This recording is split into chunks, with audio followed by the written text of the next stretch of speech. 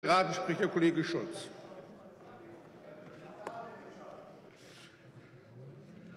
Sehr geehrter Herr Präsident, verehrte Kolleginnen und Kollegen, liebe Zuschauerinnen und Zuschauer im Saal und zu Hause. Also so ganz wenig Neues fand ich jetzt nicht, Herr Kollege Mostofizade. Immerhin wissen wir, dass wir die Milchproduktion erhöhen können, und dann wird das schon laufen hier. Ähm, es fehlt in der Tat, es fehlt in der Tat so ein bisschen der Ansatz. Solide Haushaltskonsolidierung statt Steuererhöhung. Nordrhein-Westfalen braucht seriöse Finanzpolitik.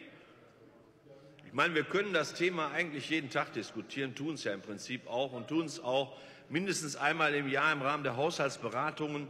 Äh, ich möchte aber noch mal auf den eigentlichen Anlass zurückgehen für die Aktuelle Stunde, das Interview. Da hat der äh, Herr Finanzminister sich ja auch noch mal eben mit auseinandergesetzt und hat dann vorgetragen, was der eigentliche Hintergrund ist. Und da möchte ich noch mal in der Tat auch auf das zurückkommen, was äh, nicht gesagt worden ist, nämlich, dass der Landesfinanzminister NRW durchaus mit, mit einem berechtigten Interesse möglicherweise fordert, dass im Bund Steuern erhöht werden weil auch da sind die Ausnahmen natürlich begrenzt.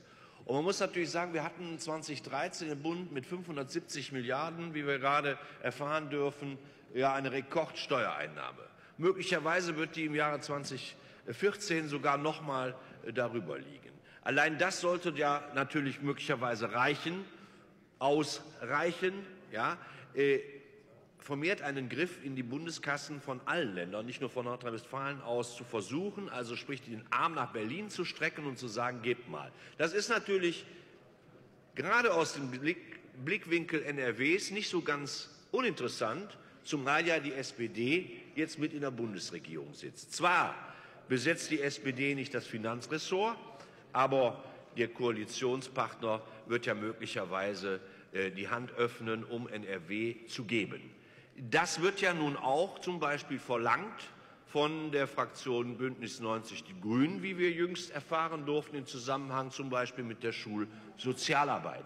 Ganz interessantes Thema hatten wir im Rahmen der Haushaltsberatungen auf den Tisch gebracht, wurde, ja, ich sag mal, niedergestimmt und keine drei Monate später kommen die Grünen und sagen, hey, wir haben was entdeckt, Schulsozialarbeit wird nicht finanziert, uns fehlt das Geld, es fehlen 120 Millionen, die fordern wir jetzt mal vom Bund. Ich erinnere an einen Antrag, den wir hier im Plenum gestellt haben, der abgelehnt worden ist, und zwar von SPD und Grünen, der, der nichts anderes im Sinn hatte, als zu sagen, wir müssen die Schularbeit, Sozialarbeit mit 120 Millionen äh, künftig sichern und wenn das Land das Geld nicht hat, dann müssen wir das beim Bund fordern. Genau das tun die regierungstragenden Fraktionen jetzt. Labelpolitik. Wunderbare Sache, Herr Finanzminister.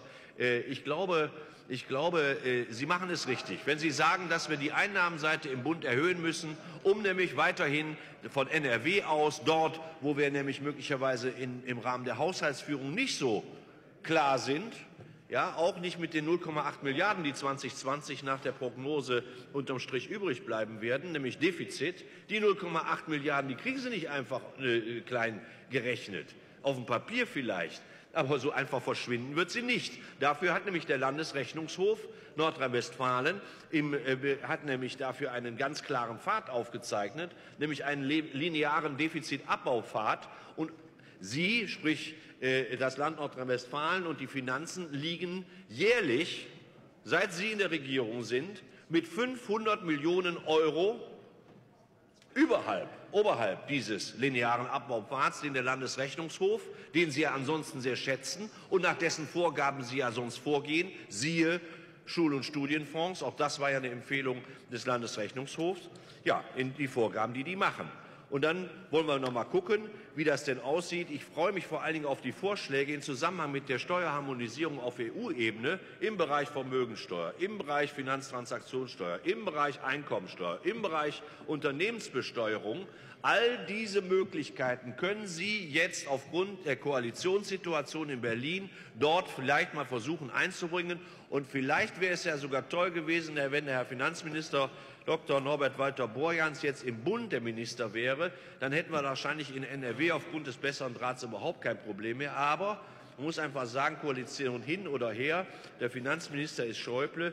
Und da wird natürlich die Kanzlerin möglicherweise auch noch ein Wörtchen mitzureden haben. Also so ohne weiteres werden wir in NRW, ähnlich wie andere Bundesländer, nicht an die Bundesfinanzen über das hinaus äh, äh, kassieren können, äh, wie es im, im Bundesetat vorgesehen ist und wie es eben auch die Bundesländer mit dem Bund dann ausgehandelt haben. Von daher das wird eine never-ending Story werden, wie wir die Landesfinanzen hier äh, in den Griff bekommen. Im Moment sehe ich da jedenfalls schwarz. Dankeschön. Vielen Dank, Herr Kollege.